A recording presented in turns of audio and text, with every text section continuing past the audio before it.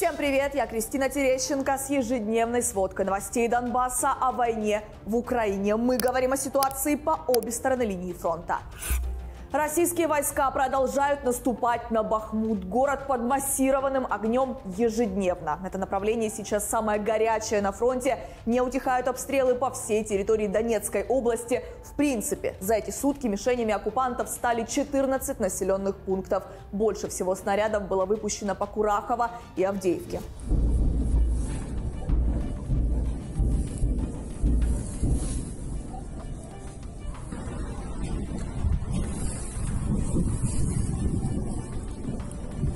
Также российские войска атаковали освобожденный Ямполь. В одном только Торецке уничтожено как минимум 12 домов. Там снаряды попали в частный сектор. Известно об одном погибшем и двух раненых. Российский президент Путин создает все условия для затяжной войны в Украине. В этом убеждены аналитики Института изучения войны. Эксперты отмечают, что во время встречи с Советом по развитию гражданского общества и прав человека хозяин Кремля заявил, что так называемая спецоперация в Украине может быть длительным процессом и захват новых территорий – важный результат для России. На этой встрече Путин сравнил себя с российским царем Петром I и отметил, что Россия сейчас контролирует Азовское море, за которое боролся царь. Эта ссылка на российскую имперскую историю явно определяет нынешние цели Путина в Украине, как откровенно империалистические и все еще максималистские. Путин настраивает российскую внутреннюю аудиторию на затяжную изнурительную войну в Украине, цель которой – завоевание новых украинских территорий.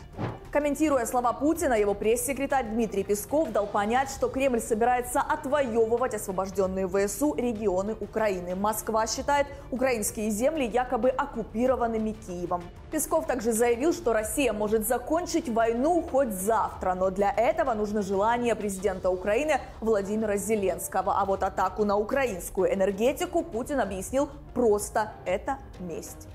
Да, мы делаем это. Но кто начал? Кто ударил по мосту, по Крымскому? Кто подорвал ли, линии электропередач с атомной электростанции Курска? Кто не подает воду в Донецк? Неподача воды в миллионный город – это акт геноцида. Никто, нигде словом об этом не обмолвился. Вообще. Молчок полный. Стоит нам только пошевелиться, что-то сделать в ответ.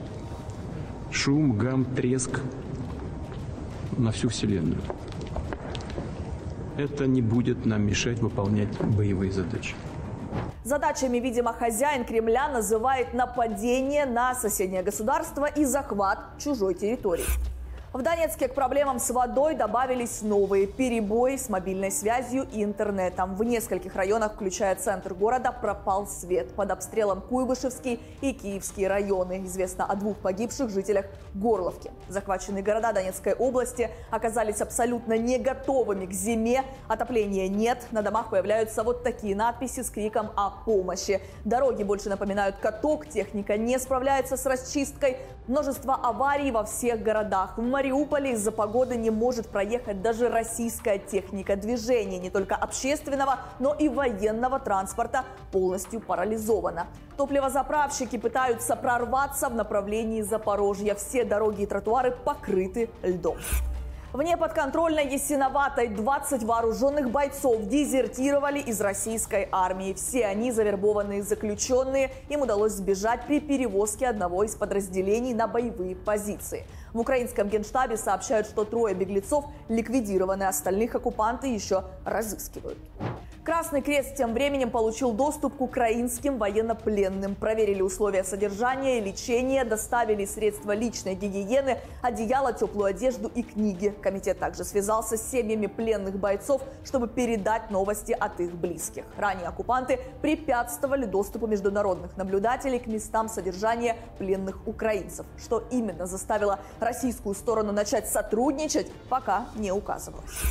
Украинские войска продвигаются на Луганщине. ВСУ идут вперед в направлении Сватова-Кременная, но россияне подтянули туда большое количество техники и личного состава. По словам главы области Сергея Гайдая, на этот участок фронта перекинули мобилизованных, бывших заключенных, кадыровцев и регулярные войска, которые вывели из Херсонского направления.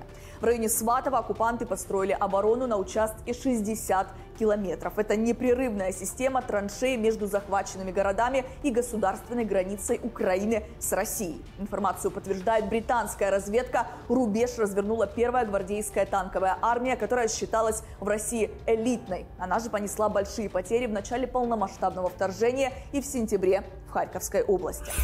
Для луганского направления эта зима будет ключевой. По мнению Гайдая, в конце зимы ВСУ смогут как минимум вернуть территории, захваченные до 24 февраля. Россияне тем временем возводят укрепления в Старобельске и несут большие потери. Чтобы освободить места для раненых боевиков, гражданских больных принудительно отправляют лечиться дома.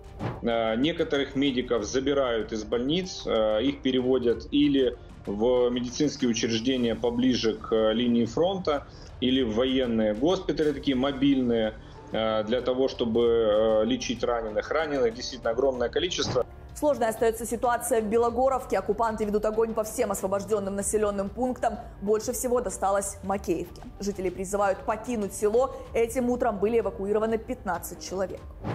По ту сторону линии фронта в полностью уничтоженной Попасной оккупанты приняли заявление о компенсации за разрушенное жилье только у десятерых человек. У остальных мирных жителей нет даже надежды на восстановление домов. В то же время десятки пожилых людей вывозят из Северодонецка. Их депортируют в интернаты так называемой ЛНР. Только на зимний период или навсегда оккупанты не уточняют.